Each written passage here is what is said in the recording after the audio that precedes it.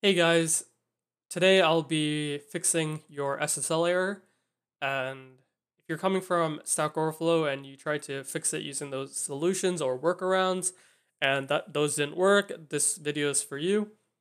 I don't think you should work around the issue, you should really get to the root of the problem. And since this is an SSL verification failure, that doesn't necessarily mean that the certificate itself is faulty. It just means that maybe the certificate can be verified. And how certificate verification works is really key to understanding the problem. When we look at my website certificate over here, this is the website that messed up for me that I had an issue with. It, it was my own, and I'll get to the reason why.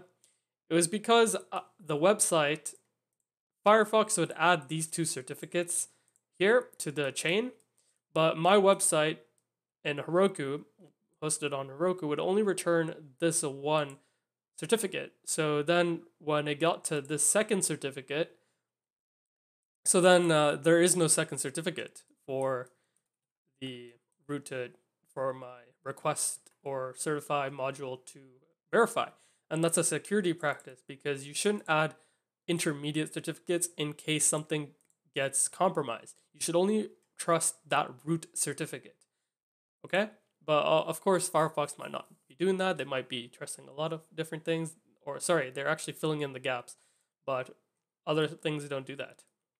So this video is there for people who are who are responsible for their own websites that they can't access. And if you aren't able to access to you know control that website you're trying to access, you need to contact that website owner and tell them what the issue is or what uh, the issue could be. Now, obviously, if you've updated requests and you've updated certifi and your browser returns that the site can be verified, then only can you actually safely assume that the chain is not being returned in the first place. Okay? So, continuing onwards, if you are responsible for the website, hopefully you know what a CSR is, which is a certificate signing request, which is what you provide the certificate authority when you bought a certificate from them.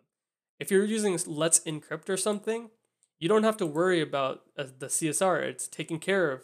So if you are using Let's Encrypt, this is probably not the issue you're dealing with. It's probably, it might be something else. So, anyways, after you buy the certificate, you need to create a private key to generate that CSR. And when you get that certificate, you need to add it to your web server.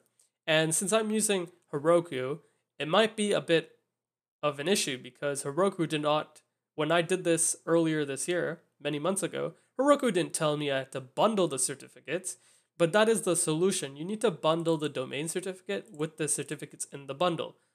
The certificates in the bundle basically are the intermediate certificates and the root certificate. If those aren't included or returned by your website, that means something like request will fail to verify your website. But if the domain and the intermediates are included, then the request module can guarantee that your website was verified uh, for use uh, by a trusted root authority. And to combine certificates, you can either use the cat domain CRT and bundle to chain CRT command if you either have are on POSIX or have cat installed on Windows. I have cat installed. But if you're on Windows, another way you can do it is to rename the CRT files to text and then create a new text file called chain.txt and then add those domains, those certificates to it. The extension really doesn't matter as the, like this extension CA bundle is there because you're going to be copy pasting anyways. It's not certificates don't work in the sense that on the web server in the sense that you need the you need it needs to be a file extension. It just needs the contents of it. It's just text, plain text.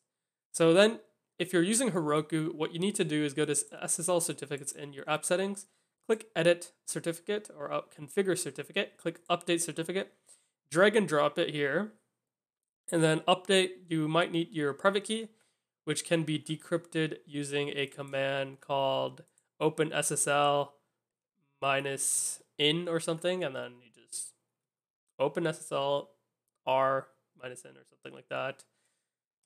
So yeah, I will show you that command here, which is, there you go, open SSL RSA minus n, and then this should, you enter your password or passphrase, and then you can see your private key, and then you just add it here. And you might need to clear your clipboard afterwards as well. Okay. And then just confirm that the certificate added here is the same as certificate used by your DNS target and remove any additional certificates you may have that aren't being used. Okay?